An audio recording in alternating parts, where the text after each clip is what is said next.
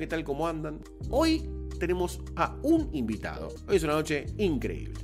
Todo eso que se da en la facultad, todos eso, esos procesos hermosos que se dan a través del dibujo, de la forma en la que nos comunicamos, esos puentes con grafito o hoy también digitales que tendemos con clientes, con otros docentes, con alumnos, con, no sé, compañeros y compañeras de la facultad, hoy van a ser como un, se van a materializar en esta charla.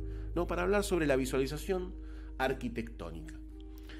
Vamos a estar además conociendo a alguien muy eh, mencionado en el chat, muy querido, entre que no hay, no hay mucha gente haciendo divulgación de arquitectura, seamos honestos y honestas.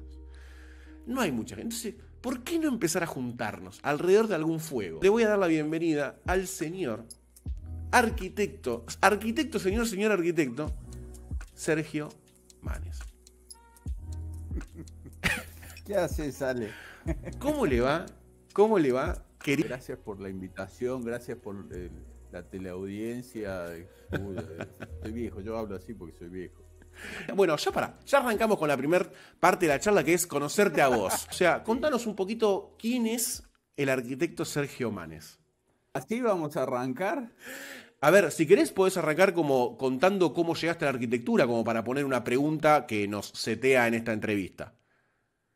Y bueno, yo llegué a la arquitectura desde el día en que nací porque mi padre era arquitecto. Ahí estamos. Entonces, este, viví, mamé la arquitectura desde muy chiquito. Mi hijo era arquitecto de los, de los viejos arquitectos que tenían su estudio de arquitectura, en donde estaba él solito o sea, era él solo. Su estudio de arquitectura era él solo. ¿Cómo solían ser antes los estudios de arquitectura? Chiquitos. Chiquitos. Y sí, chiquitos, pero mi viejo manejaba 15 edificios al mismo tiempo. No, ¿cómo es posible eso? Este, bueno, impresionante. Organización y método. Claro. Este, que es algo que yo trato de predicar, ¿no? Constantemente. Para mí era impresionante. Y a los 10 años más o menos yo tengo un hermano, tengo dos hermanos, uno falleció, pero el más chico, este, tenía, me llevo cuatro años con él, entonces para que, para que no estuviera tanto tiempo en casa, mi viejo no tuvo mejor idea que llevarme a laburar con él al estudio, diez años. Ya a los diez años me llevó eh, al estudio y éramos él y yo. Éramos él y yo. ¿Y yo qué hacía? Y yo le hacía los llamados telefónicos. Con 10 años con le hacía los llamados telefónicos. Entonces, todavía me acuerdo los nombres, ¿viste? El ingeniero González Garabelli, el, no me acuerdo el nombre del escribano ahora. Entonces yo llamaba, porque era la época en la que vos llamabas, decía, hola, sí, por favor, con el ingeniero González Garabelli, ¿de parte de quién? Del arquitecto Manes, un segundito que yo lo voy a atender, entonces te quedabas en espera hasta que decía, sí, ingeniero González Garabelli, un momentito que le van a hablar, ¡papá!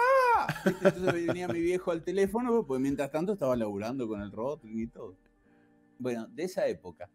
Así que así empecé a mamar la arquitectura y laburé con él este, hasta que empecé a estudiar arquitectura.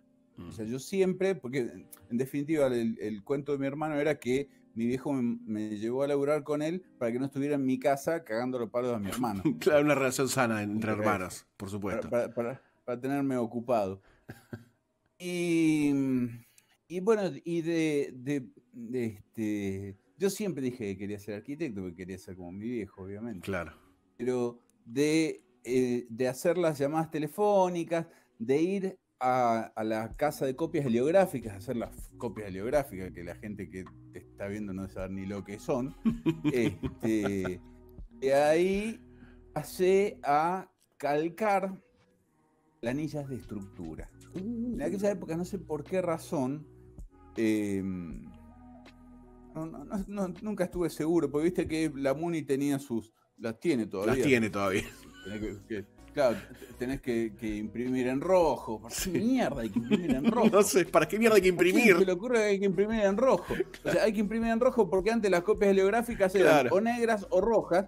Y la Muni dijo, bueno, yo quiero roja, me quedo con la roja y se quedaron con el rojo para toda la vida. Hasta el día de hoy. Había un papel, había un papel en el que vos dibujabas, que era eh, se llamaba tela, era una tela no sé cuánto, porque viste, allá en, Buenos Aires teníamos el calco, el calco 90, el calco 120 y, y había una tela que era así un colorcito medio casi te diría violetita, no era tan transparente, pero había planos que había que presentarlos originales en esas telas. Exacto.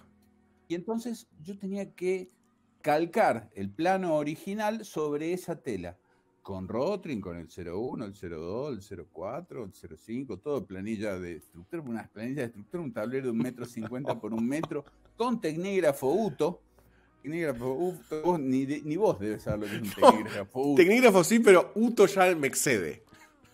Bueno, Uto es la marca, Uto es como decir un Rotring, un Stabler. Claro. Uto era la marca de los tecnígrafos. Y así que a los 11, 12 años ya dibujaba con Rotring y me acuerdo que a los 13 años mi viejo ya me había enseñado a dibujar perspectiva polar con dos puntos de fuga y hacía bases de perspectiva y demás. ¿A qué edad? ¿A los 12 este, años? 12 años. no. Y a los 13 entré en el Otto Krause, este, en donde obviamente hice la especialidad de construcciones. Claro. Los seis años de construcciones. Este, y ya después me peleé con mi viejo, me fui de mi casa, todo, casi que no estudio arquitectura, hasta que no sé qué me agarró la, la buena senda y, sí, eh, porque me escapé, me fui a vivir a Zárate, tenía muchos amigos allá en Zárate, me fui a vivir a Zárate, viví en una pensión y un día me encontré con un amigo que me decía, ¿no, ¿no querés venir a Buenos Aires a estudiar? ¿Eh? Te hablamos. entre tres nos alquilamos un departamento y me, fui a Buenos, Aires a estudiar. ¿Todos venían a estudiar este, arquitectura o algo relacionado o, cualquier, o había como variedad en esa, en esa junta? No, nada que ver. El Naro, eh, Daniel, este, estudiaba medicina, hoy es urólogo. Eh, y el Fede, eh, Juan Carlos Federico, es uno de los diseñadores gráficos más grosos que tiene el país. Es el autor de el, escudo de la ciudad de Buenos Aires, por ejemplo. Ah, mira. Este, así que éramos nosotros tres vivíamos en un departamento. En realidad éramos el Fede y yo, porque el Naro se la pasaba estudiando en el dormitorio y el Fede y yo pasábamos de largo de entrega a entrega, escuchando Rush a todo volumen. Después se terminaban todos los discos de Rush y poníamos Spinetta a todo volumen también. y así, este, así, este, así terminamos. ¿En qué, en qué eh, tiempo de años ¿no? de, eh, estuviste estudiando en la facultad? Vos estudiaste en la FADU, ¿no? También en la UBA en la UBA, yo me recibí en la UBA. Te recibiste en la UBA. ¿Y en, qué tiempo...? ¿O en, qué cantidad de años? No, no, cantidad de años no lo vamos a tocar eso porque yo soy una persona que ha estirado mucho, está estirando mucho su carrera, entonces no, no hace falta que hablemos mucho del estiramiento de la, de la... Igual lo podemos hablar, ¿no? De cómo uno encara la facultad también. Eh, la parte de... Para, para, darte, este, esto es un quilombazo, me acuerdo. lo contaba el otro día. Este, porque, claro, cuando yo me fui de mi casa, este, que me peleé con mi viejo, me sea la bosta, no había terminado el secundario. Y me fui a vivir a ah. Zárate y no terminé el secundario.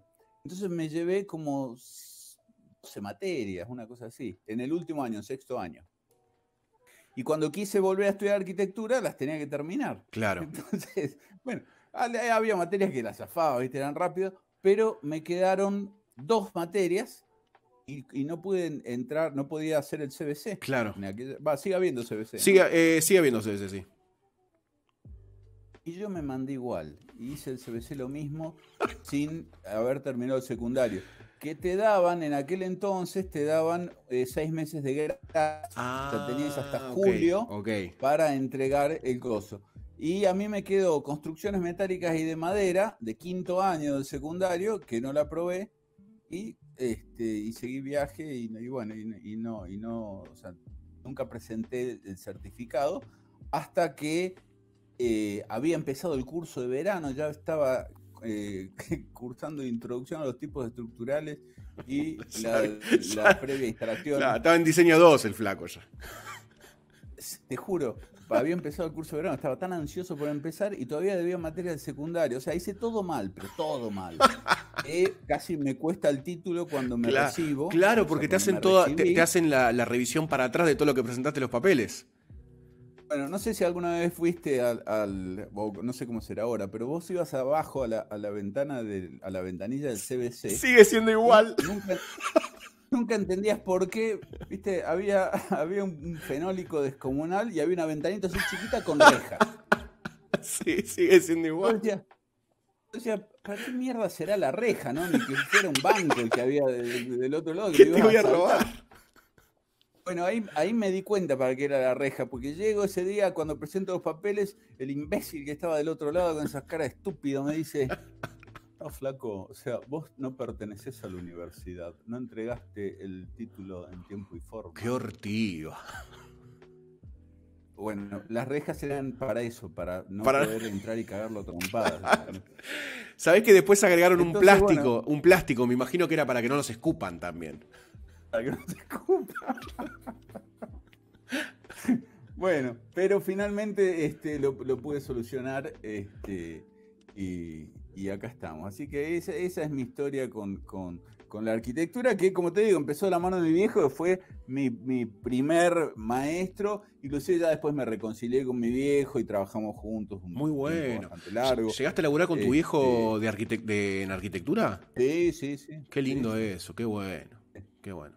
Sabes que eh, yo tuve una aproximación también similar a la arquitectura. mi, mi bisabuelo fue ingeniero civil, hizo puentes acá en el norte. Eh, mi abuelo fue maestro constructor, mi viejo no llegó a meterse en arquitectura, fue ingeniero electrónico, pero siempre hubo en la familia eh, algo así sobrevolando con la, con la construcción, con la obra. Te vas a emocionar porque te estoy haciendo acordar a tu familia, lo dejamos acá. ¡No puedo más! no, no, esto, esto es por cansancio.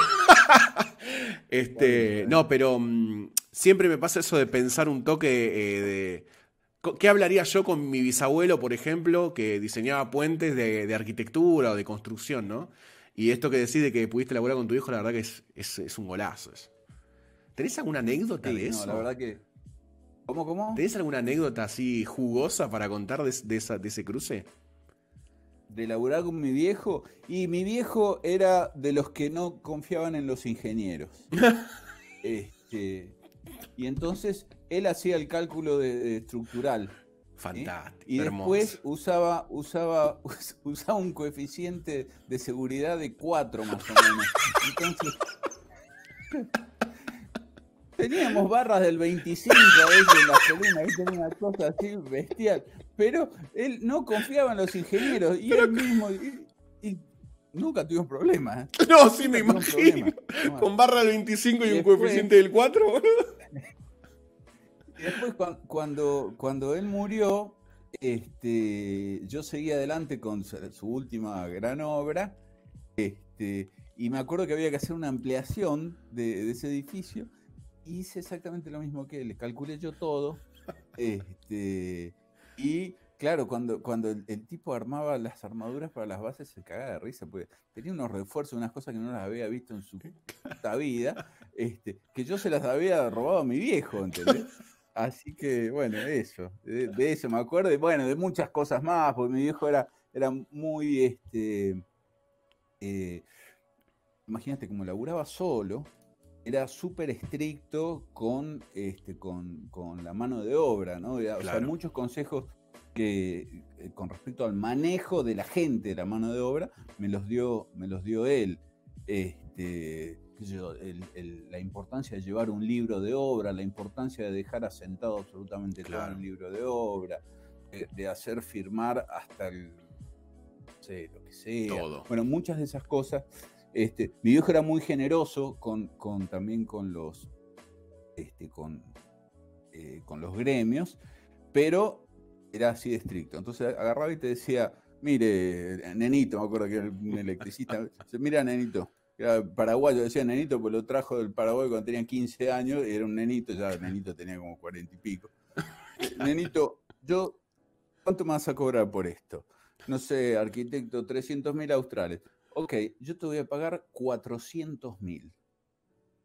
Pero vos lo vas a terminar este día. Por cada día que vos te atrases, yo te voy a descontar esos 400 mil, 20 mil australes. Claro nenito te lo terminaba quería cobrar los 400 mil australes. Impresionante. Entonces, eh, toda, toda esa psicología, eh, bueno, yo la aprendí después con mi hijo. Cuando me vine a vivir acá en Córdoba, acá en Córdoba, eh, los gremios no, no tienen la misma.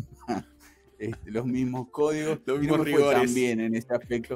Sí, pero bueno, cosas como es. Qué lindo, qué lindo.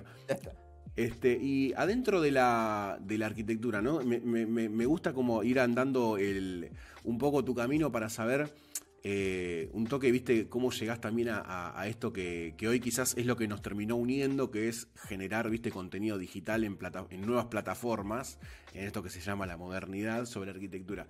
Adentro de la profesión, ¿qué, dentro del estudio, ¿no? de lo académico, ¿qué era lo que más te llamaba la atención lo que más te gustaba? Eh, a mí me, fascinaba muchísimo en, aquel entonces y, era una gran incógnita para mí el diseño buen diseño. Claro. Eh, el dibujo no, porque el dibujo era algo que yo ya manejaba. Yo me acuerdo que estaba en el ciclo básico, estaba en la cátedra de Goscue y tenía, estaba, había una materia, no sé si existe todavía, se llama Introducción a la a los procesos proyectuales o a la práctica proyectual, algo por el estilo. Y, este, y la tenía de docente a Ana de Brea, Ana de Brea, que es una periodista de arquitectura muy grosa, ya en aquella época era muy grosa. Este, la tenía yo de docente a ella, era mi, mi, docente. Y había que hacer, me acuerdo, un gimnasio en la boca, ¿viste? Un galpón que había que reformarlo y qué sé yo.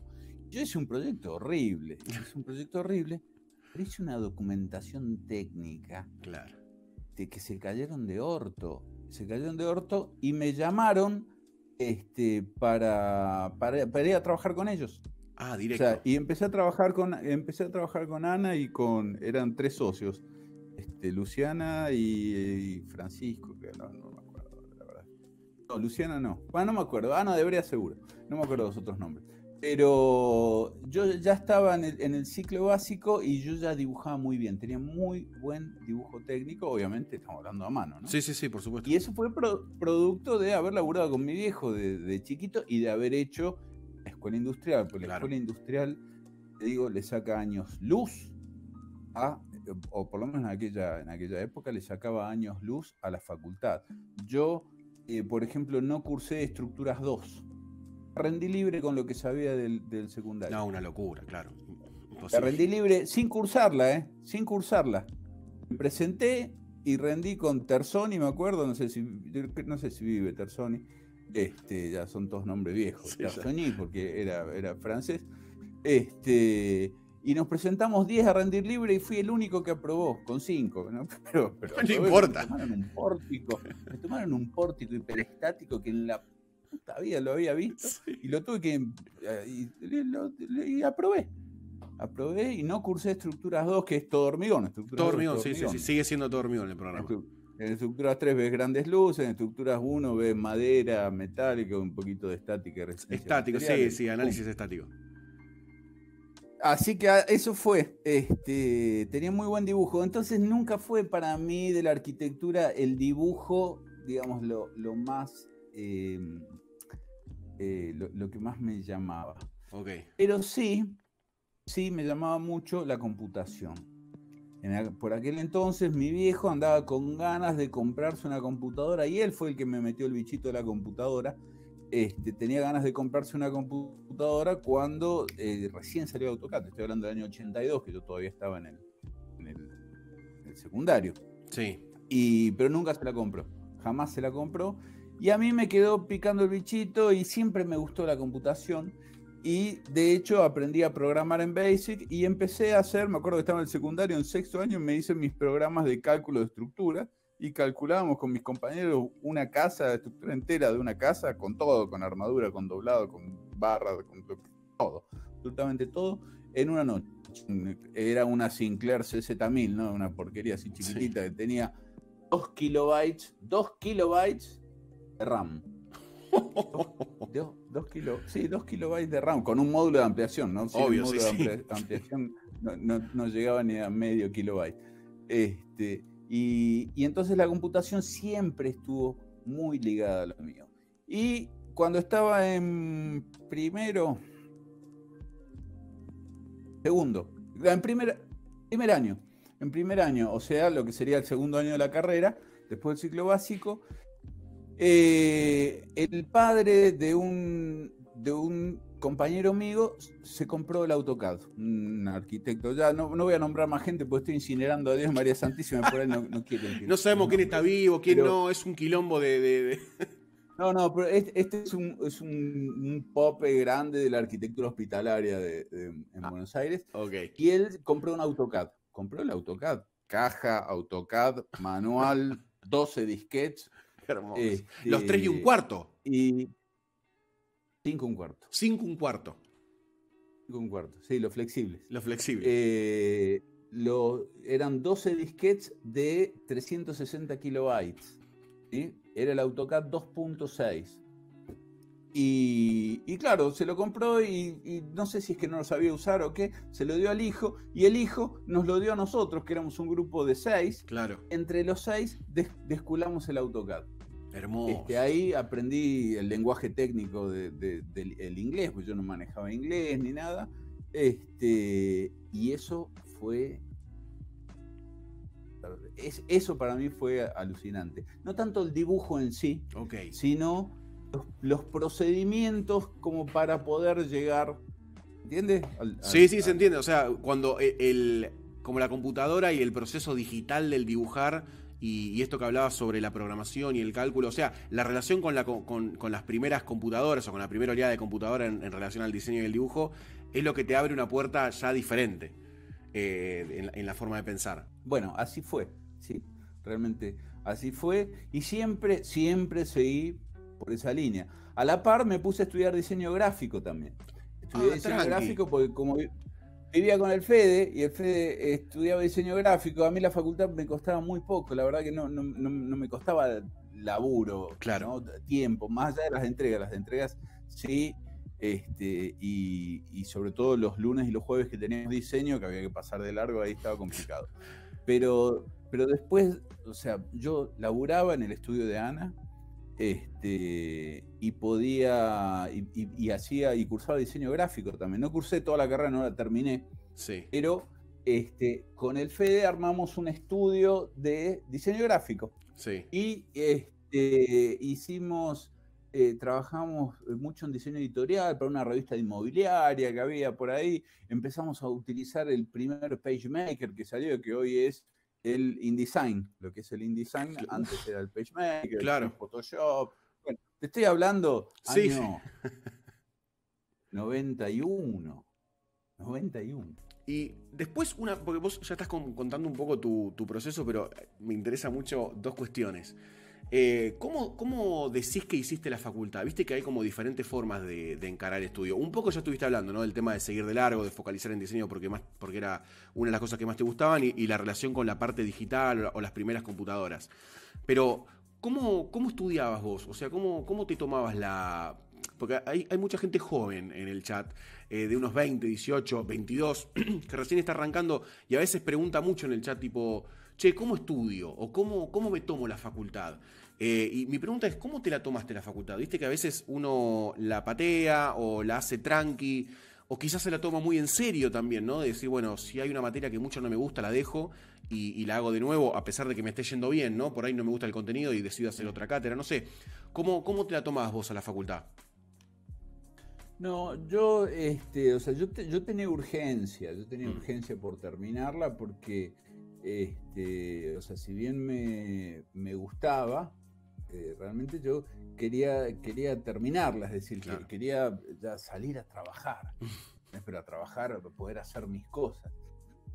Y, de hecho le hice rápido, hice todos los cursos de verano, por ejemplo, iba este, todas las, las cuatrimestrales que eran eh, instalaciones y y no me acuerdo si era instalación y estructura o qué, pero las, iba haciendo lo más rápido que podía. Por eso también rendí libre estructuras 2. Para mí era súper, súper importante este, terminar la facultad y le dediqué el 100% de mis años este, de, estudio de facultad.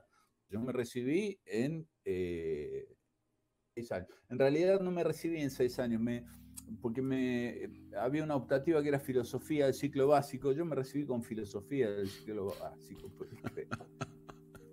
Hermoso, fantástica ironía. Odiaba, odiaba filosofía y como era optativa, no la cursé nunca y cuando terminé la carrera eh, tenía que hacer filosofía y me recibí con filosofía.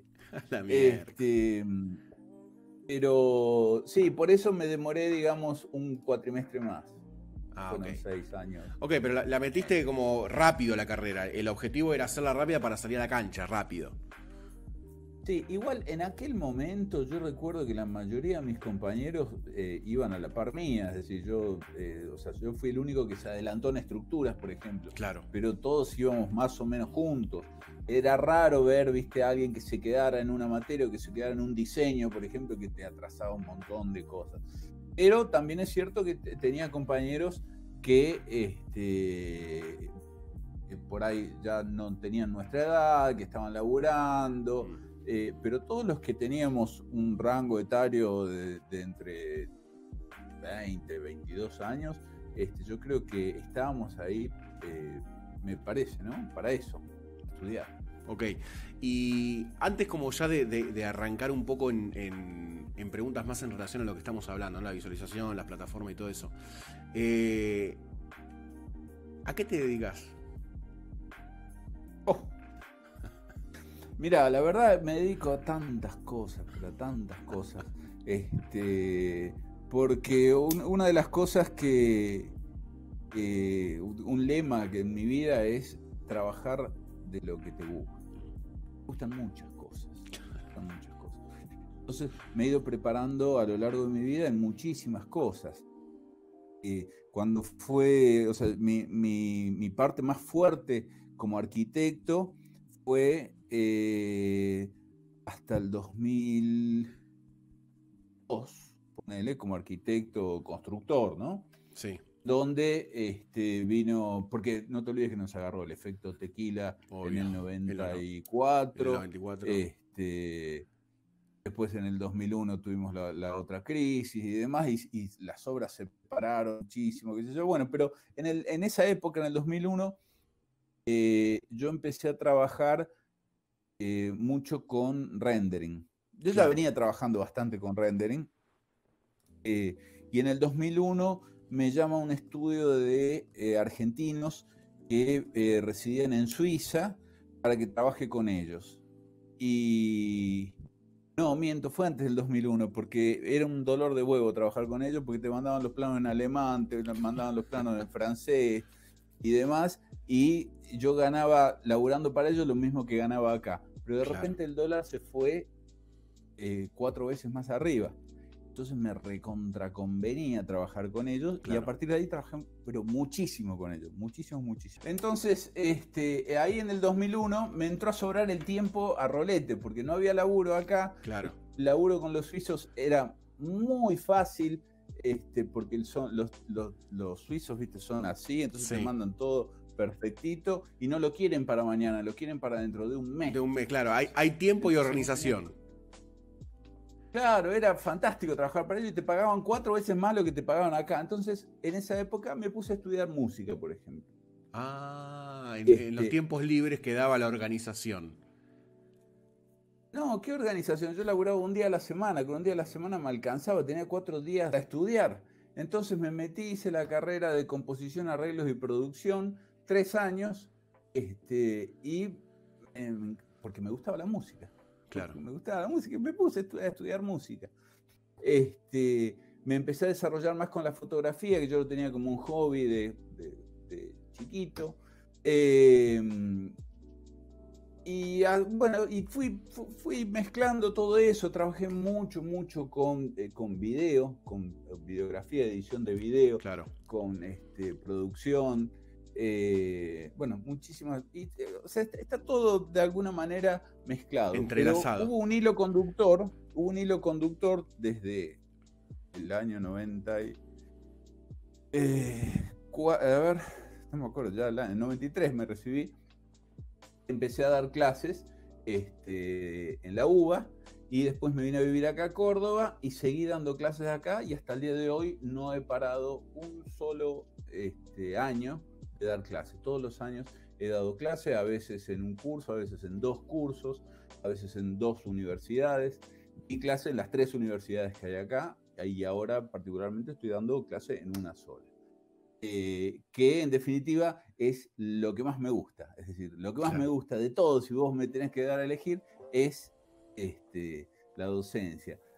por ejemplo, me, han llamado este, muchas veces para trabajar en, empresas grandes y, entonces cuando me pedían las condiciones, yo decía, mira, mis condiciones son que los lunes y los jueves no vengo a trabajar a la mañana porque doy clase en la facultad. Claro y, me decían, no, pero no, no, no, no, se puede. Y bueno, entonces no se puede, adiós.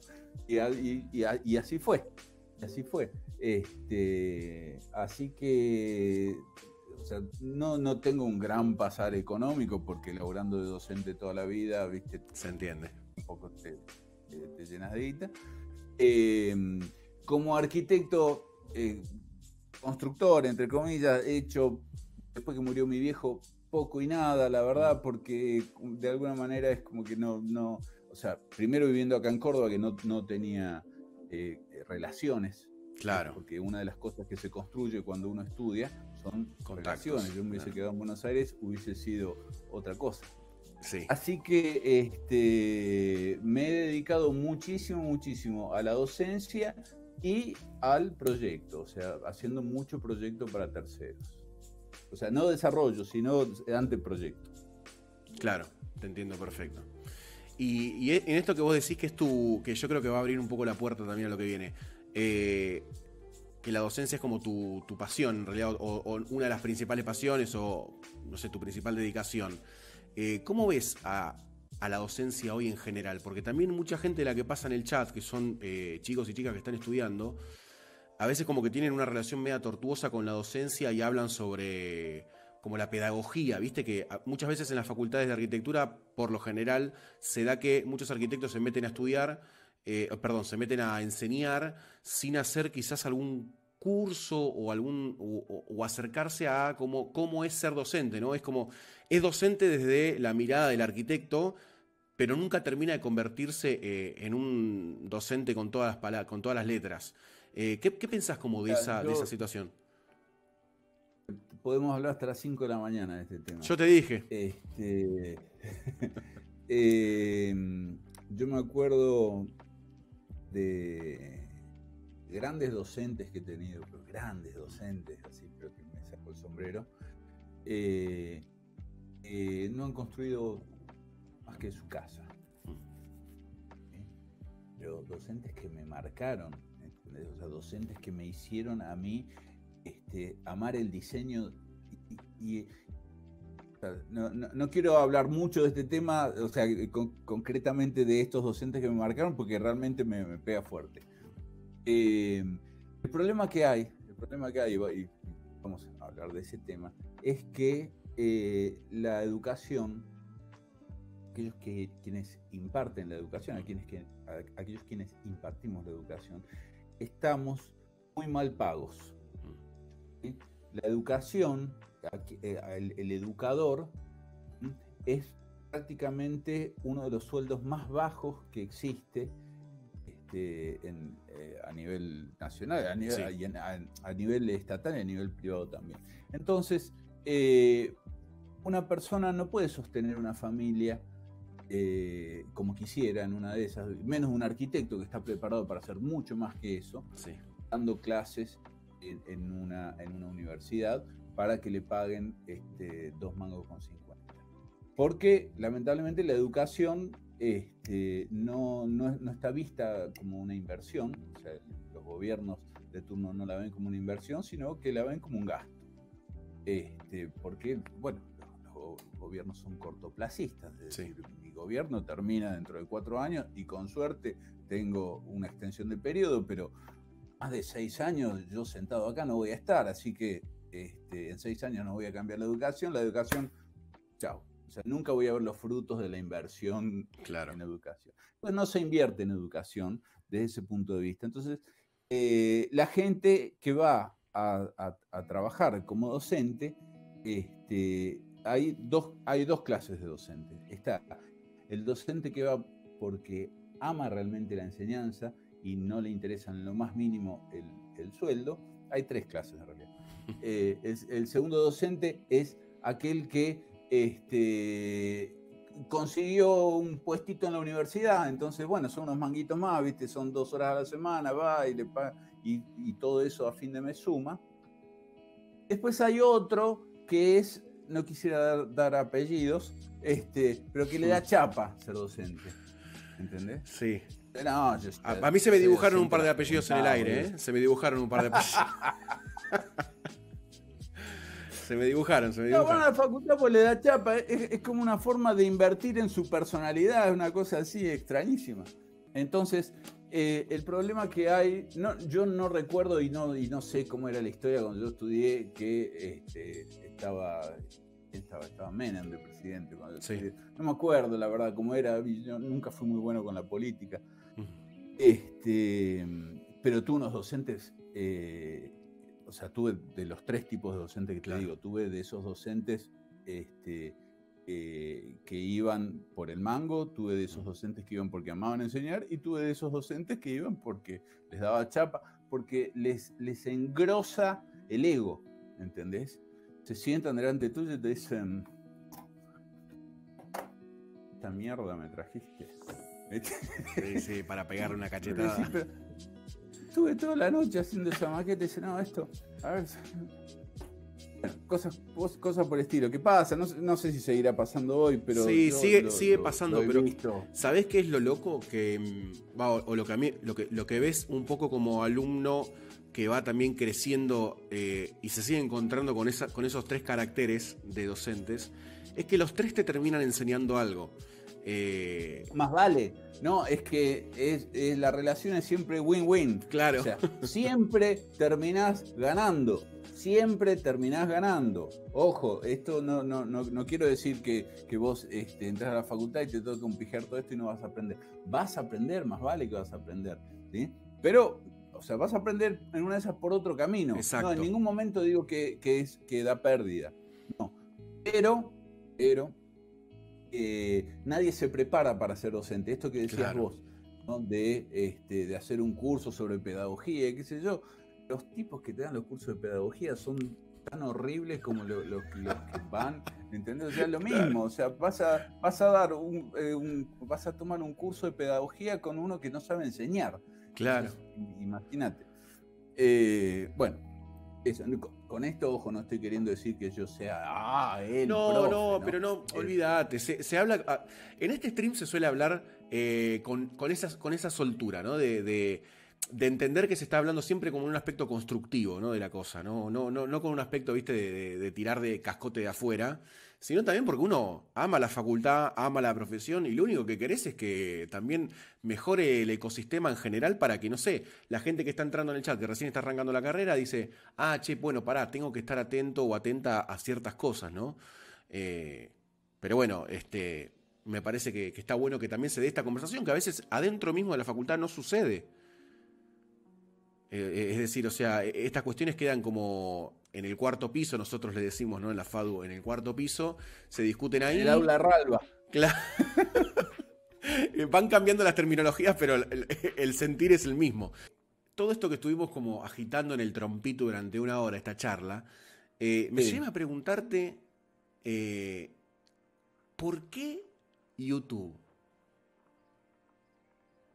Oh, bueno, eh, en realidad es muy corta, es muy sencilla la, cuestión.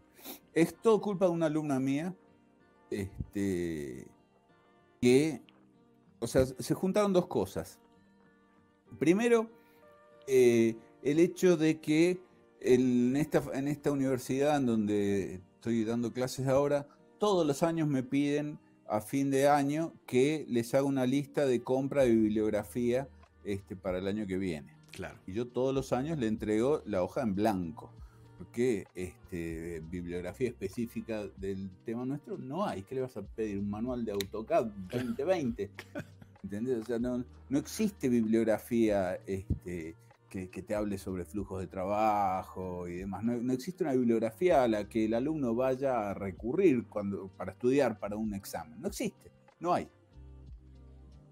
Eh, en algún momento yo me puse a escribir al respecto, hace varios años atrás, este, sobre todos estos temas de los que hablo ahora. Claro. Eh, pero la verdad que escribir no es lo mío, no me gusta. Eh, y hace.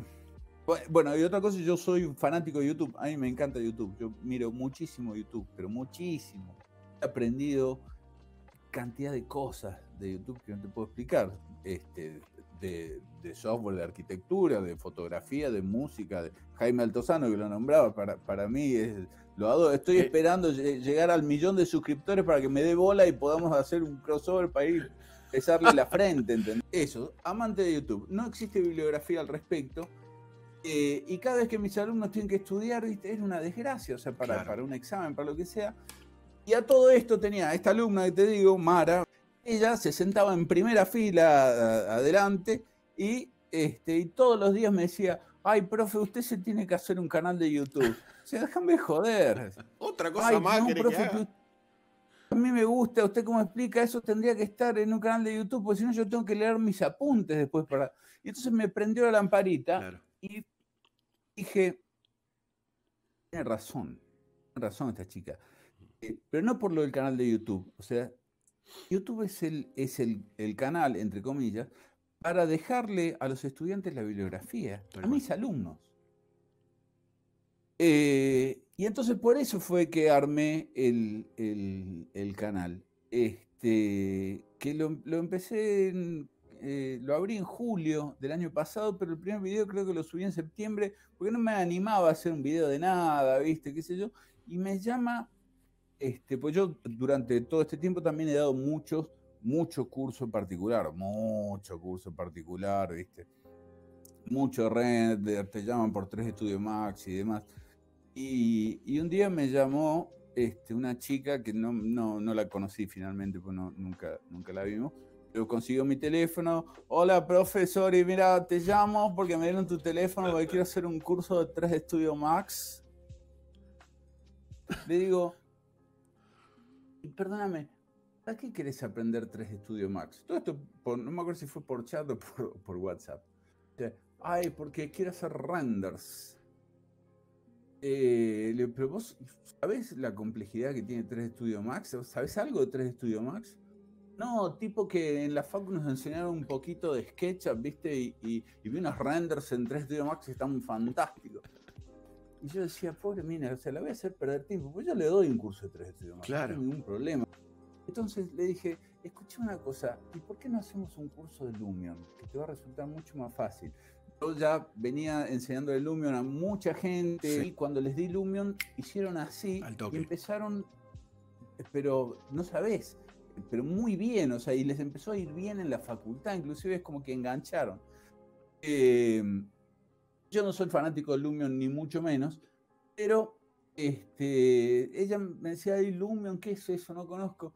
Y eh, no me acuerdo bien cómo fue, pero la cuestión que le dije, mira, te voy, la semana que viene te voy a, este, voy a publicar un video en mi canal, míralo, porque ahí te voy a explicar por qué tenés que, este, por qué te conviene usar uno y no el otro.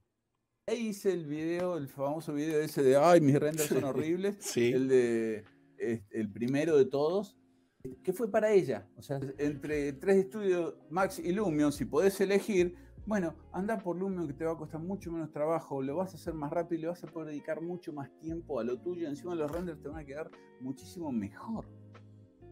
Que sea el tiempo que vas a invertir. Y así nació el primero. Eh, que quedó ahí.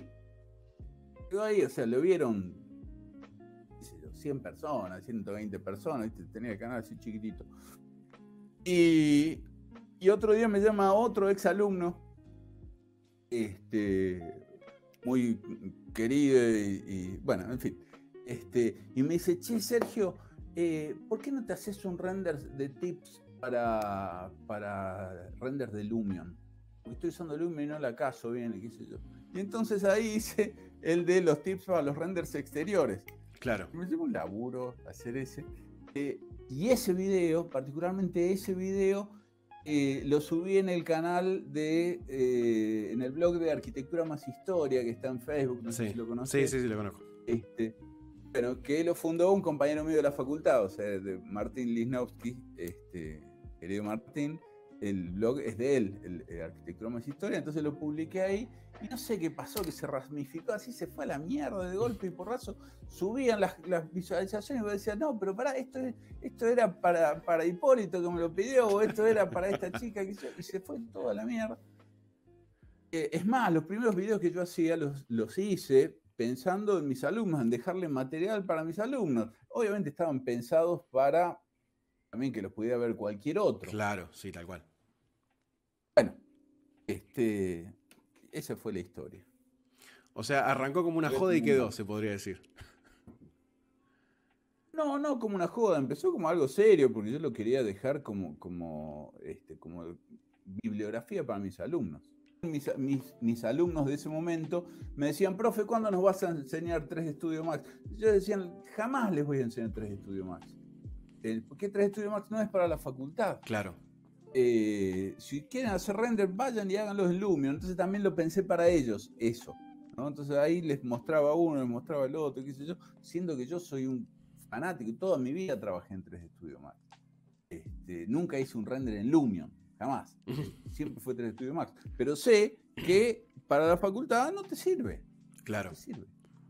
Claro, es, como aplicar la herramienta que verdaderamente se necesita para el lugar en el que se la necesita, ¿no? No, no vas a, por ejemplo, en los primeros años no vas a enseñar tampoco 3 Max, ¿no? Quizás con un SketchUp para hacer maquetas virtuales te alcanza y te recontra sobra.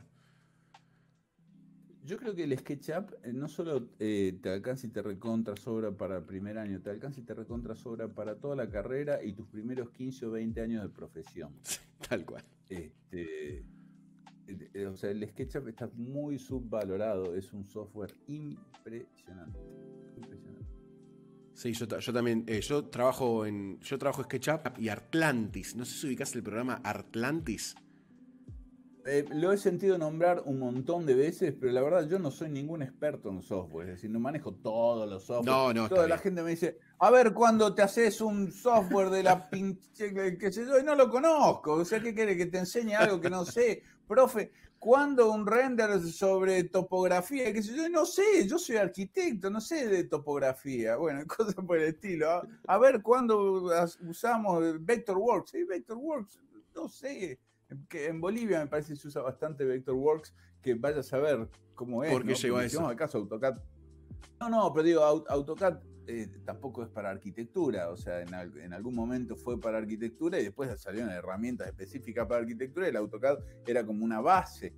Este, y en Bolivia pegó el Vectorworks y trabajan muchísimo en Vectorworks, que yo en algún momento, en algún momento de mi vida lo vi, este, y, eh, pero si mal no recuerdo era más para diseño de piezas mecánicas y cosas por el estilo, pero lo usan para arquitectura. A veces en las facultades te insisten con algunos programas o algunas búsquedas en, lo que es hardware, eh, perdón, software, ¿no? Como, bueno, usen este, bueno, usen lo otro, pero nunca hablan como de esto que, estuviste hablando vos, ¿no? De cuál es la herramienta necesaria para que vos uses, ¿no? ¿Cuál es la herramienta que mejor te va a venir sin venderte humo con quizás el software que usa la persona que te lo está recomendando?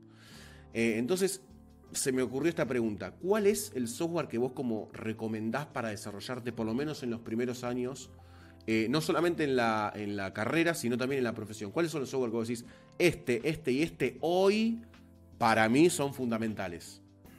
De nuevo, ¿no? Insisto en que las, herramientas no hacen este, necesariamente al arquitecto. Eh,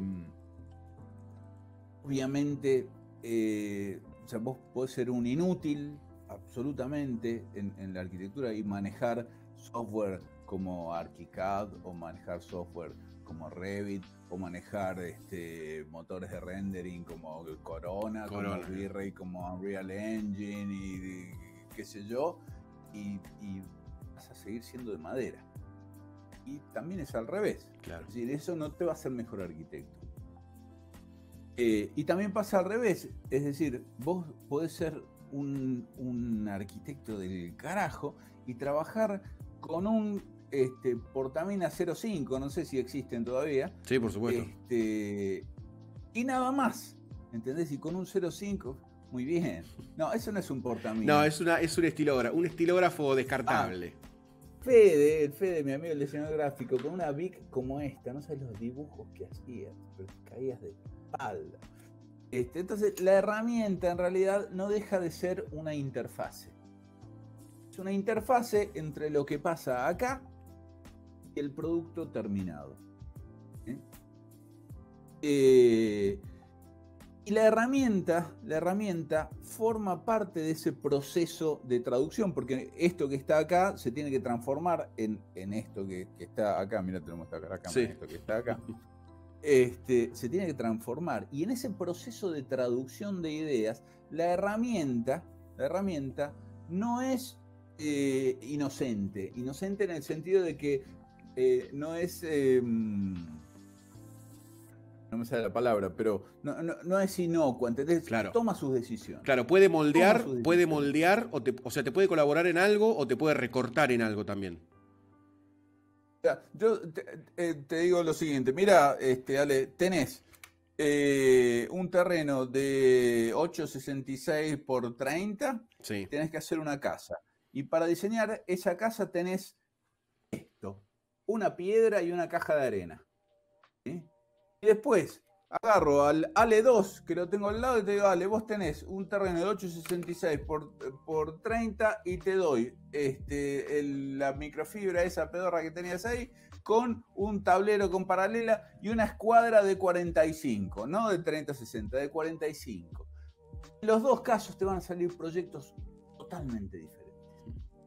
Lo que los dos van a salir de vos siendo que los dos van a, salir de vos. No obstante, los dos proyectos pueden llegar a ser horribles o los dos proyectos pueden llegar a ser fantásticos, porque, porque el, origen está acá. La herramienta, obviamente, de alguna manera te va a ayudar a moldear y a llevar esa, esa traducción hacia una determinada forma eh, con la escuadra a 45 grados te la vas a pasar haciendo pliegues a 45 grados y con el otro vas a hacer más curvas y qué sé yo, pero en los dos casos pueden ser unos diseños fantásticos. Entonces, la herramienta para mí no es importante. Ahora, paréntesis, es re importante. Es súper importante. Claro.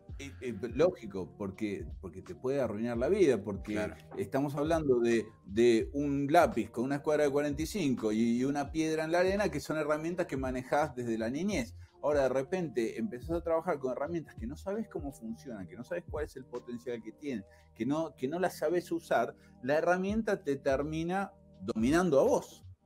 La herramienta te termina dominando a vos. Entonces, una herramienta como SketchUp eh, es un software tridimensional que casi te diría, casi te diría que tiene la capacidad de simular la materia, hmm. ¿no? O sea, tiene, tiene leyes de comportamiento en cuanto al, manejo de la geometría que simulan la materia. O sea, vos podés extruir hasta determinado lugar y no podés extruir más que eso. Por decir una boludez, ¿no? Pero em, en, ese sentido, el SketchUp es, y, lo, hemos experimentado durante muchísimos años esto, en talleres de, diseño con ejercicios que iban enfocados hacia el desarrollo de la creatividad en el arquitecto. Y lo hemos probado con un software, lo hemos probado con otro, y el SketchUp te saca años y años y años de ventaja. Porque, entre otras cosas, una de las cosas que tiene el SketchUp, por ejemplo, que no tiene Revit, por decirte. Eh, el SketchUp es inmersivo. Vos te podés meter en lo que vos estás este, diseñando. En Revit no podés. Ay, no, profe, que tiene herramientas ahora de perspectiva. Una mierda, vos con esa herramienta sí, más o menos podés meterla así, ¿viste? Pero es como, como eh, te metes como un cuasimodo. Eh, pero, no podés trabajar este, en, vista real. Trabajás siempre desde afuera terminás vivenciando la arquitectura desde afuera. Y entonces lo que pasa es que se pierde, pierde la noción de espacio interior y todo empieza a pasar por afuera. Y el adentro pasa a ser simplemente una consecuencia de lo que está pasando afuera. Lo de adentro, el espacio, termina siendo una resultante, que en realidad debería ser exactamente al revés, porque donde vos pasás la mayor parte del tiempo es adentro del espacio, no afuera. Este, Bueno, ya me estoy. Eh, es el mate que me está haciendo efecto. Pero está buenísimo. Sí, esto de, que vos comentabas un poco de, que tus alumnos o alumnas, te, alumna en este caso, tipo te recomendó YouTube, ¿no? Eh, ¿qué, ¿Qué pensás de, estos puentes que se van armando en, las plataformas digitales? ¿no? Porque estás eh, vos eh, desde un lugar enseñando algo. Está Ter desde España hablando de arquitectura con una forma. Está Cota Paredes, por ejemplo, desde México, eh, bajando cierta línea con el diseño. ¿no? ¿Qué pensás de, lo que es la divulgación y lo que la gente puede aprender a través de lo que vos das en estas plataformas. ¿Vale tanto como lo que se puede dar en la facultad, por ejemplo, o en, no sé, en secundarias? Eh, ¿Ese aprendizaje vale o, no? Porque hay gente que le baja un poco el precio al trabajo de... Yo, personalmente creo que es peligrosísimo. Mm, ok. Este, yo creo que es muy peligroso eh, tomar una herramienta como YouTube como una herramienta de aprendizaje eh, en el momento en el que uno no tiene la capacidad de discernir si lo que está aprendiendo lo está aprendiendo bien o mal, en el momento en el que uno no tiene la capacidad de saber qué es lo que está este, necesitando buscar. Entonces, y, que uno obviamente no tiene el, poder de, este, bueno, esto que te decía, de discernir, ¿no? En el último video hablaba de un pelotudo que tiene 200.000 vistas y que le arruinó la vida a 200.000 arquitectos este, que están trabajando en milímetros pensando que están trabajando en metros. Claro. Entonces, eh, eh, desde ese punto de vista es muy peligroso. yo, preferiría que no existiera YouTube, si vamos al caso, este, y, sacar lo bueno y lo malo, eh, porque hay mucho de lo malo, hay mucho, mucho, mucho de lo malo. Con esto yo no quiero decir que, de nuevo, ¿no? O sea, que yo sea lo bueno. Yo esto no lo hice para esto que está sucediendo y que agradezco porque a mí me encanta, porque no hay nada más que le guste a un docente que ver que hay gente que aprovecha su conocimiento y que aprende de eso. A, lo que voy es que yo no, no esperaba esto, nunca lo busqué, nunca lo deseé. Este, y, y si el día de mañana no estuviera más, creo que tampoco me cambiaré la vida. Se entiende, se entiende. Si, te tengo que ser sincero, me encanta. Es decir, me encanta poder ver este, que la gente escribe y que te agradece, que la gente te pregunta, que la gente eh, aprende. Hay, hay, suscriptores que yo tengo en YouTube a los que en realidad leo todos los mensajes, pero hay algunos que ya los reconozco. Claro. ¿Entendés? Este, y, que los recuerdo y demás. Y con el Patreon me, pasa eso, o sea, disfruto muchísimo porque eh, me encanta hacer los, jueves, por ejemplo, tengo una charla con los de Europa y, a la noche tengo una charla con los de Latinoamérica, por esto de los, de los distintos horarios. Y me encanta verles las caras. Quiero hacer lo mismo en YouTube y no puedo porque a mí me gusta verles las caras. Esto que te decía hoy a vos, yo no, no, quiero estarle hablando a una pantalla, yo ahora te estoy hablando a vos porque te estoy viendo. Claro, es, es, distinto.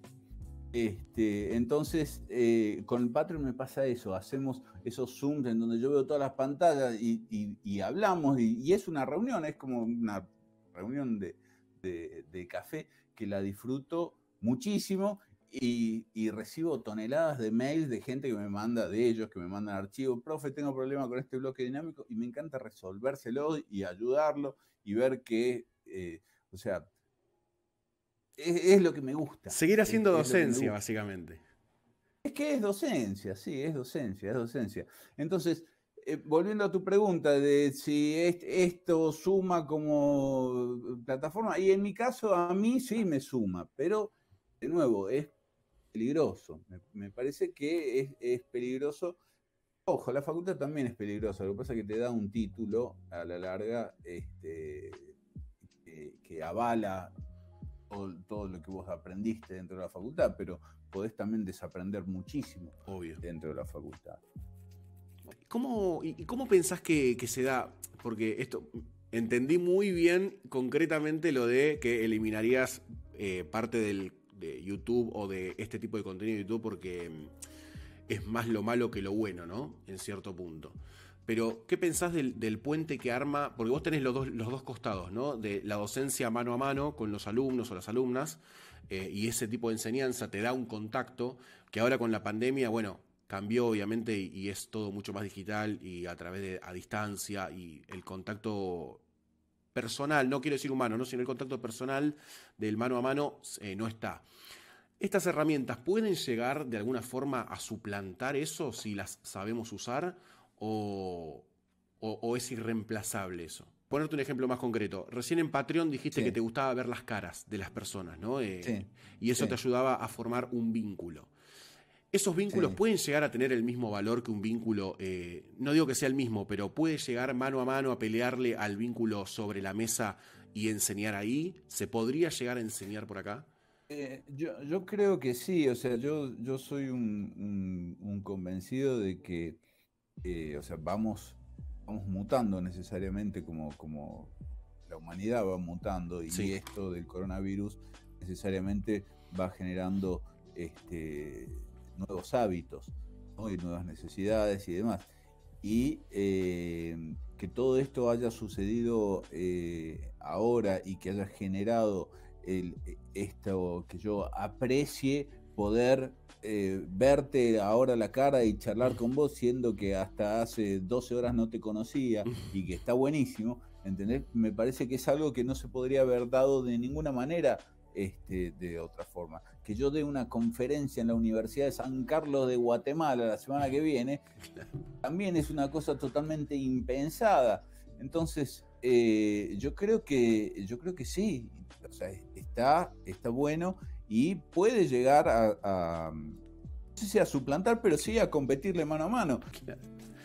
Eh, yo quiero hacerte una preguntita más antes de, como de abrir eh, el foro, el ágora de preguntas al chat, a ver con qué nos van a, sorprender. Pero ¿cómo te ves de acá unos años y cómo ves también este a la profesión, ¿no? ¿Va a cambiar algo? en Twitter me hacen 70.000 veces esta pregunta de, ¿va a cambiar algo en la arquitectura con todo esto que está sucediendo? Esto que estábamos hablando de las relaciones que van cambiando y las metodologías de pedagogía. necesariamente, necesariamente, es decir, cualquier, cualquier cambio en el entorno provoca un cambio en la arquitectura. O sea, provoca un cambio en muchísimas otras cosas y, y la arquitectura necesariamente. No me preguntes para dónde va a ir, pero que va a cambiar, más vale que va a cambiar. Eh, arquitectos favoritos, esto me interesa. ¿Qué arquitectos te gustan? O arquitectas, ¿no? ¿Te gustan? Eh, ¿Cómo diseñan, lo que diseñan, lo que cuentan? Angelo Bucci. Ah, mira. Angelo Bucci es uno de mis arquitectos preferidos. Em, arquitectos actuales. los que vos quieras, los que vos quieras. Bueno, Angelo Bucci, eh, de los, de los arquitectos este, que están con vida, digamos, mm. es, este, es, mi arquitecto este, predilecto. Em, tampoco soy un fan de andar ¿viste? siguiendo un arquitecto en particular. Eh, me gusta muchísimo Renzo Piano, pero me gusta Renzo Piano de la época de, cuando estudiaba. Claro. Este, los que están vivos, te digo. Eh, Norman Foster me gustaba la primera, la primera parte. La primera parte, de Foster. O sea, me gustaba la, mediana escala de, Norman Foster. Sí, sí, la, que se va, la que se va al eh, super carajo high tech es como medio lejana ya, ¿no? Se pierde un poco. No, no, para nada. Este, de Richard Rogers lo que más me gusta es el refugio que hizo ese chiquitito ahí donde él se sienta a leer y nada más. Eh, me gusta mi arquitecto favorito, así tengo un altar acá eh, este, con la foto de Luis Kahn. Kahn es, mi arquitecto este, predilecto. Y después este, arquitectos como, te puedo decir, Antonio Bonet me gusta mucho, ah. Mario Roberto Álvarez es para mí de, este, lo mejor que hemos tenido. entre nos de, Clorindo me gusta la parte de, Cepra, digamos. Claro. Este, no la última parte. Claro. Eh, y, una anécdota, el primer render pago que hice en mi vida se lo hice a Clorindo Tech. Ahí tenés, ahí tenés un cliente tranqui. El primer render pago que hice, se lo, o sea, no fue un render, fue un 3D. Fue un 3D de AutoCAD, ni render era. Este, se lo hice a Clorindo Testa. Era en el paseo del Centro Cultural Recoleta, un sector claro. Este, de, sombrilla que se iba a hacer y que qué sé yo, que finalmente no se hizo. Ese fue mi primer trabajo pago, este, fue para, para Clorindo. Qué interesante, ¿no? César interesante. he hecho proyectos de César Pelli, he hecho proyectos de... Mm, bueno, hice Seiza, y Aeroparque, los renders de CESA y Aeroparque, allá en la época de Aeropuertos Argentina 2000, ahorita te contaba. Sí. Este, he, trabajado eh, con, es una manera de decir, no he trabajado con, he hecho proyectos de Nicolas Grimshaw, por ejemplo. Em, me, han tocado algunos clientes este, así super top. Divertidos. Eh, sí, qué sé yo. He trabajado mucho con Miguel Ángel Roca, si vamos al caso, pero porque Miguel es vecino. Este, Tranqui, vecino, Miguelito. Jugamos al fútbol todos los días. No, bueno, pero con, el Miguel, eh, cuando hicimos el Malva, por ejemplo, este, el concurso del Malva, yo lo hice con Miguel. Este, con, Miguel y con Ian Dutari, los tres. Hicimos el Malva y Carlitos Brusa. Este, cuatro era. Y yo la llevaba a mi hija que tenía dos añitos, o sea que ahora tiene veintipico, imagínate. Yo la llevaba este, y se quedaba ahí mientras nosotros este, laburábamos ahí con, con. Eh, bueno, y otros arquitectos, bueno, te dije un montón. No, que sí, me, dijiste una, cantidad increíble de arquitectos, mejor, ¿no? Buenísimo. Porque además tiraste nacionales e internacionales. Eh, eh, me gusta mucho Richard Neutra, por ejemplo. Claro. Richard Neutra me gusta mucho. Em, uno que descubrí, que me pareció fantástico, que no lo conocía, nunca en mi puta vida lo había sentido nombrar, es eh, Balkrishna Doshi. Uh, el, claro, el que ganó el Pritzker el año pasado, no el anterior. Bueno, yo lo conocí antes del Pritzker, claro. es decir, antes, antes que le dieran el premio lo conocí. Balkrishna Doshi este, fue el, socio, entre comillas, de Le Corbusier en la India. Claro. Eh, entonces, cuando, cuando el Corbu hizo eh, todo el desarrollo de Chandigarh, eh, Doji estuvo, bueno, estaba el primo de, de, Corbu, el, Pierre Janeret, y, este, y Balkrishna, que era pendejo, jovencito. Eh, he visto unas obras de Balkrishna Doji que te caes de culo. Bueno, y además Doji tiene una forma de representar eh, gráfica que es muy interesante también, ¿no? Esos planos como que hacen perspectiva parada con muchos colores, ¿no? Es, es a mí, a mí me, llama mucho la atención también. La verdad, te soy sincero, no conozco, no, ah. no, no he visto. He visto la obra de él y me, caigo. Vos vas al, museo de, de Chandigarh y enfrente al museo de Chandigarh hay un auditorio que está en ruinas de Doshi, que lo ves de afuera en ruinas y decís, ¿cómo puede ser una cosa eh, estructuralmente. O sea, una, una cosa que me gusta mucho es la estructura. Sí. Eh, o sea, Dossi era un maestro para el manejo de la estructura y, y Angelo Bucci también. Entonces, este, de ahí por ahí viene un poquito mi, mi, pasión. Las pasiones. ¿Diseñaste tu casa? Esta casa en la que vivo ahora no. ¿Pero alguna vez diseñaste un hogar? Diseñé otra de la que ya me he mudado, sí, sí, sí. Qué, qué experiencia de mierda, ¿no? Es una experiencia media extraña. Bueno, vos sabés que César Pelli este, dice que lo peor que le puede pasar a un arquitecto es diseñar su propia casa, este, porque es la peor forma de convivir con los propios errores el resto de tu vida. Todos los días de mi vida. ¿Qué opina el aprendizaje en relación al modelo digital con la maqueta real? La maqueta real para mí es lo máximo. Mm. Es casi irreemplazable en, algún punto. No, no, casi no. irreemplazable. Eh, a ver, a ver. ¿Para qué usar 3D Max? Esto imagino que la pregunta que te hacen es porque eh, relegaste la enseñanza de 3D Max quizás por enseñar otras herramientas o recomendar aprender otras herramientas un poco más útiles para el momento en el que se necesitaban aprender, ¿no? Entonces, ¿para qué usar 3D Max o en qué momento, reformulo la pregunta, usar 3D Max? 3D Studio Max es una herramienta de rendering o sea, pero de rendering de altísimo vuelo. Entonces, este, si vos te vas a dedicar al rendering, puedes usar tranquilamente 3D Studio Max. Es para eso. Eh, pero no, no, te va a ayudar en tu carrera de arquitecto, no te va a ayudar a ser mejor arquitecto, no te va a ayudar a, ganar un concurso porque hagas un render en 3D Studio Max. 3D Studio Max es una, es una herramienta compleja que sirve pura y exclusivamente para hacer renders y animaciones, unos renders y unas animaciones del carajo. Pero tenés que tener una máquina importante, tenés que tener toda una estructura por detrás de, librerías y de un montón de cosas importantes, este, que si no te vas a dedicar a eso, el 3 Studio Max no te sirve. no te sirve. Es como que te regalen una Ferrari, pero que no te den la llave. Entonces que te, vas a ir al kiosco empujándola. Esta pregunta está buena. ¿Qué me recomendaría que estoy empezando a ser docente en la universidad? O sea, me imagino que está pidiendo algún consejo como para tener de alma mater. Ojo. no, no, no sé. No sé es un buen consejo, ¿eh? No sé es un buen consejo. Es que, es que no, es que realmente, o sea, ¿qué, qué, querés? ¿Que te, diga un cliché? ¿Que seas este, sincero y honesto con tus alumnos? ¿Que, que trates de dar lo mejor de vos? Que, qué sé yo, no sé, o sea, eh, estudia para, para el otro. O sea, eh, la, la, la, docencia me parece que tiene que ver más con el otro que con uno mismo. Entonces, este, da lo mejor de vos y punto. O sea, eh, y si sentís que lo que vos tenés para dar no es eh, lo suficiente como para que la persona que tenés enfrente, preocupate por aprender mucho más para poder darle mucho más.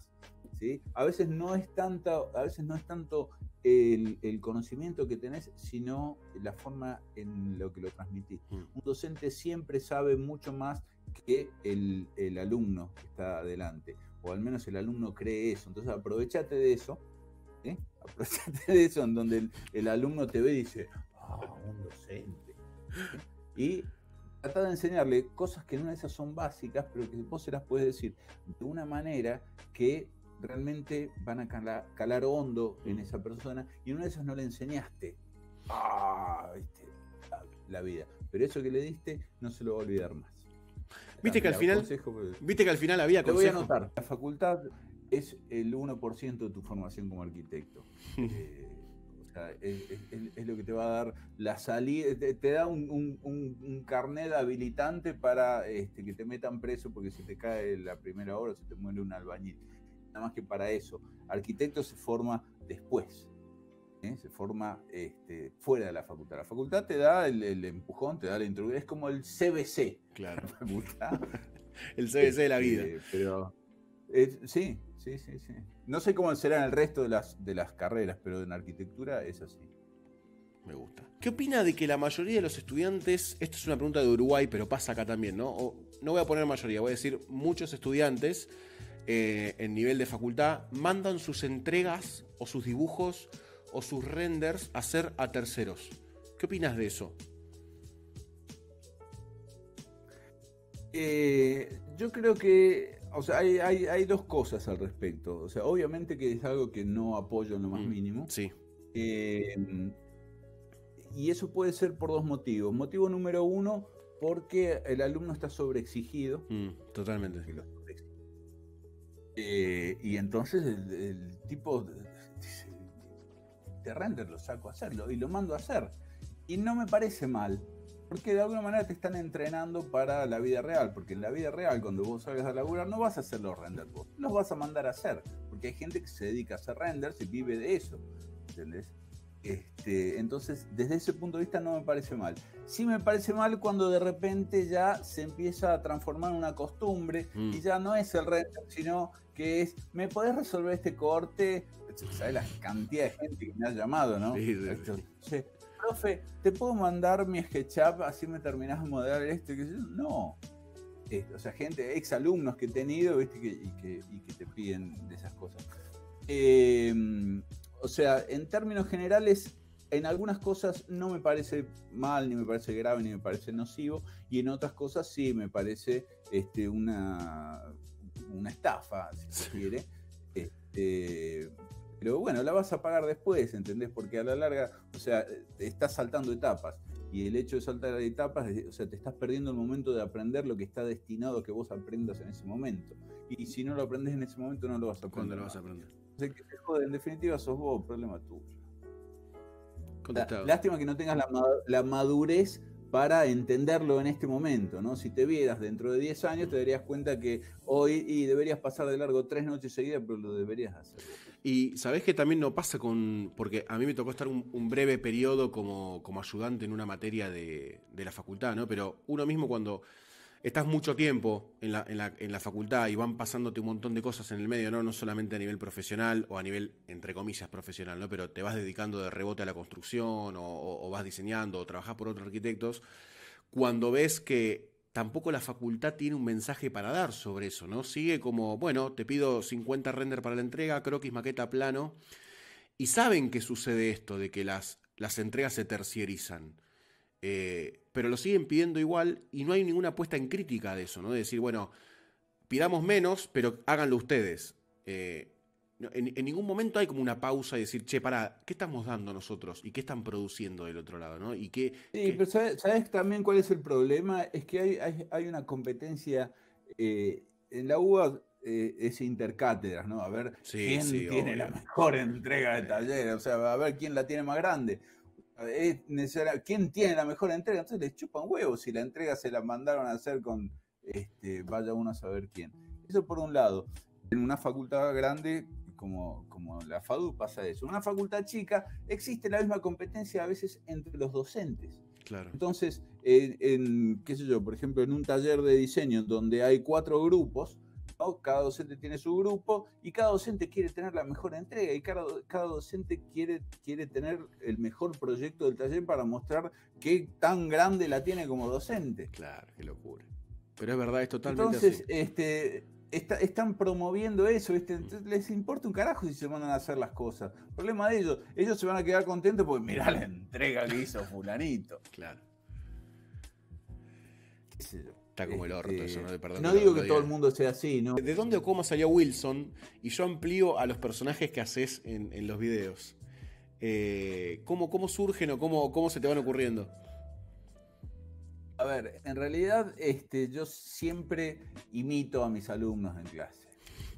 Eh, entonces cuando me, pregunta uno, eh, en la facultad que estoy ahora el volumen de alumnos es más pequeño, pero antes daba clase en una facultad que tenía 100 alumnos, en mi clase eran 100 alumnos, y aprenderme los nombres de 100 alumnos era imposible.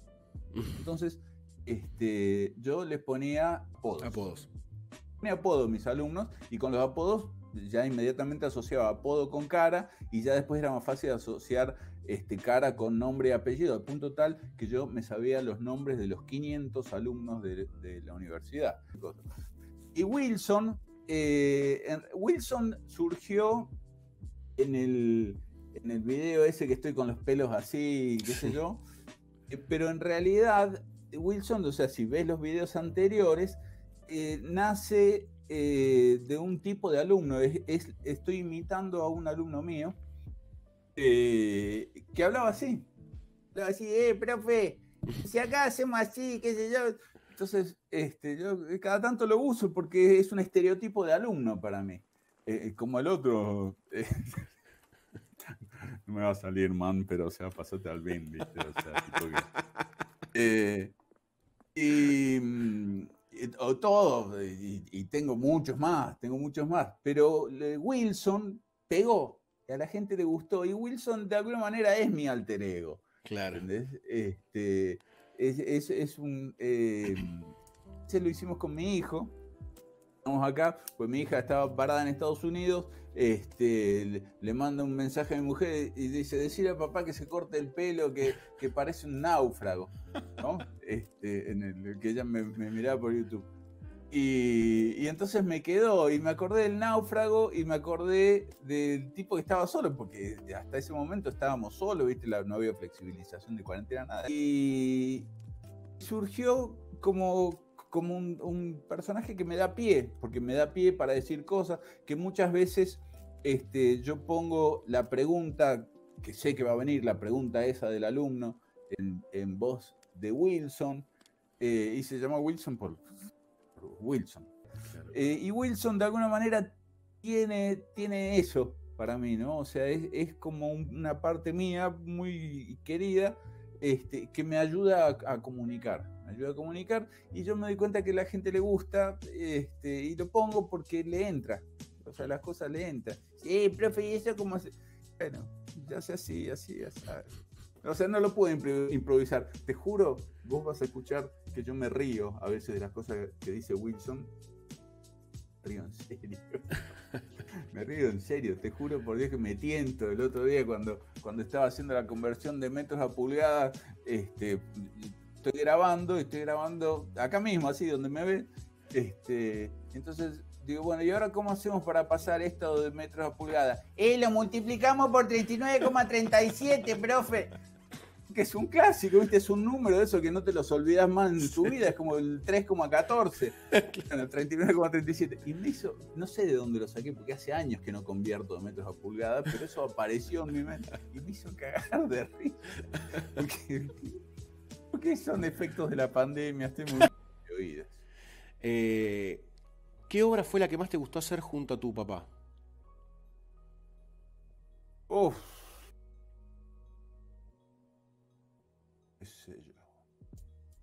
sé porque hicimos muchas cosas juntos. Este, y probablemente. Y la última. sí, qué sé yo, ¿viste? O sea, la, última, la que la tuve que terminar solo porque él se murió. Este, no, no, no, no, no, no sé decirte, pero tampoco es que íbamos eh, eh, mano a mano, ¿no? O sea, las obras en realidad eran de él y yo era como el Valkrishna Doshi. de Le Corbusier. Eh, ¿Hasta qué punto cree que es importante los referentes y o arquetipos en el desarrollo de un proyecto arquitectónico? Yo creo que en tanto y en cuanto no promueva a, la, imitación eh, por la imitación misma, la acumulación de, referentes y, no sé si de arquetipos necesariamente, pero sí de referentes, es buenísimo. No sé si hacia dónde apunta la, pregunta y vos ibas a, te interrumpí tu ampliación, ampliala. no, no, me, parece que iba en, ese sentido de, cuán importante es tener como una bibliografía mental de referentes o de, de, otras importante. Claro, tal cual. Sí, sí, yo pienso lo mismo. Además, una vez se engolosina con decir, pará, voy a resolver esta relación entre un hall y un baño de una forma que no podés creerlo. Y por ahí ya lo resolvió, viste, alguien hace 100 años y está bien resuelto. Y no está mal tampoco en decir, ok, se resuelve de esa forma y está bien, bueno, lo voy a resolver igual. O sea, yo creo que no hay ningún problema en eso. Em, hay un tema que a veces se debate que es la indefinición de los renders, ¿no? Y la indefinición de la imagen que después se termina reflejando en una indefinición de proyecto, ¿no? De, ok, la imagen que se vendió es esta, pero el proyecto termina dando otra cosa, ¿no? Y es algo que hoy, se ve mucho. Eh, Apolo creo que habla sobre las imágenes de este, este, este, mundo virtual que propone, por ejemplo, Big, ¿no? De hacer una imagen que en la etapa de render o en la etapa de proyecto te vende algo y después cuando se construye ese algo no termina existiendo o no se termina replicando como en el render. Entonces hay como una dicotomía de decir, ok, ¿para qué sirven entonces las imágenes? Eh, ¿Solamente para vender una idea que después no termina siendo y el proyecto es deficiente? Eh, ¿Debería ser eso o debería ser algo más? ¿no? Entonces, ¿qué pensás del, render como herramienta? Hay que tener en cuenta que el render eh, está, o sea, el render es como una ecografía 4D de un bebé. Está en la parte del anteproyecto. Eh, y del anteproyecto a la concreción de la obra hay todo un desarrollo que es el proyecto ejecutivo en donde hay infinidad de factores que modifican totalmente este, la, la, imagen que, se pretende este, que, se, pretendió dar en el anteproyecto. Porque el anteproyecto no deja de, em, de, poner una idea sobre la mesa. Eh, y el render corresponde a esa etapa, corresponde a la etapa de anteproyecto. ¿Vos viste alguna vez un render de proyecto? O sea, de proyecto ejecutivo eh, entonces me parece que no, hay, no, no, debería haber necesidad de eh, hacer el paralelo entre el render y la obra terminada, porque son cosas distintas. O sea, yo veo ahora este, la, ecografía 4D de mi nieto y digo, puta, si sale así con la nariz abollada y qué sé yo, vamos a estar en problemas, pero se supone que, que no, después va, va, a crecer, va a ir evolucionando y cuando salga va a ser un niño rozagante. Este, y, me parece que con los renders pasa eso, es decir, se le, se le está dando, como tienen un alto grado de, eh, de, realidad por, por todos los, cálculos de, radiosidad que existen hoy, que hace 20 años atrás no existían, eh, uno confunde muy rápidamente la imagen con, la realidad y pretende eso. Y me parece que no, o sea, el render no es más que una, simple este, materialización un momento el anteproyecto. Ni siquiera te diría que es del final del anteproyecto. ¿Cuántos concursos hemos hecho en donde el render dice una cosa y la planta dice otra y el corte dice otra? imagínate si pasa eso en el anteproyecto, lo que puede pasar después a lo largo del proyecto. Sí, sí, sí. No sé si va por ahí la pregunta, porque la verdad te escuché muy mal. sí, sí, va, un poco como por ahí. Te escucho mejor. no, no, sí, iba, iba un poco por ahí. O sea, ¿qué, ¿cuál es el peso del, de, del render hoy también? ¿no? Porque no era lo mismo el render cuando arrancó, que tenía como un grado de definición que permitía que vos la completes, ¿no? Eh, era como que pasaba con, lo del croquis, ¿no? Vos haces un croquis. Ah, sí, sí, sí, sí, sí está bien. Sí, y la gente tiene la posibilidad de, ¿viste? de completar con su estimula la imaginación. Claro, exactamente, exactamente. El render ya no te estimula la imaginación. Eh, el problema es que se ha masificado y el hecho de que se haya masificado el render, mm. este, necesariamente le, le cambia las, las, propiedades y le cambia el efecto. Todo aquello que este, se, es, eh, pasa a ser accesible a las masas de alguna manera, inevitablemente se transforma. No digo que se transforme ni para bien ni para mal, pero obviamente no es lo mismo un render de hoy que está al alcance de todo el mundo que un render de hace 15 años atrás que estaba al alcance de muy pocas personas. Bueno, mira, eh, Sergio, querido, primero quiero agradecerte por, por, ante un pedido de un ignoto totalmente por Instagram, no nos conocemos, pero tenemos como comunidades que se van formando y están como en relación indirectamente, así que esta noche fue como juntarlas un poco también, así que te agradezco por la confianza y por eh, por haber dicho que sí casi sin ninguna condición, ¿no? Solamente nos conocimos hoy en una pequeña eh, charlita a la tarde, así que te, agradezco por, por, haber dicho que sí, básicamente, que, le, abrió la puerta a una, linda, a una muy linda noche que voy a guardar eh, con, muy lindo, con mucho cariño. Bueno, me alegro mucho que, que la hayas pasado bien, yo también la pasé muy bien.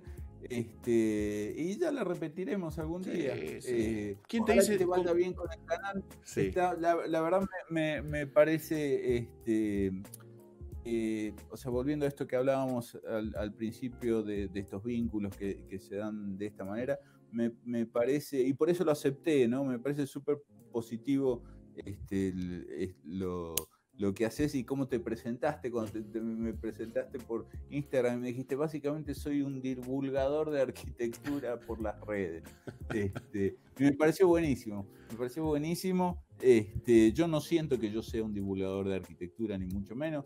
Este, yo tengo un nicho mucho más este, eh, estrecho, pero me alegro de haber podido colaborar este, con vos y ojalá que esto haga que tu canal sea por lo menos un poquito más conocido porque alguna gente este, te habrá conocido hoy y alguna gente me habrá conocido hoy a mí. Bueno, te libero ahora sí. Enorme gracias. Este, eh, me gustó mucho esta zona y bueno, espero que se repita en algún momento. Ojalá, con mucho gusto. Abrazo para todos, nos vemos. Adiós. Adiós.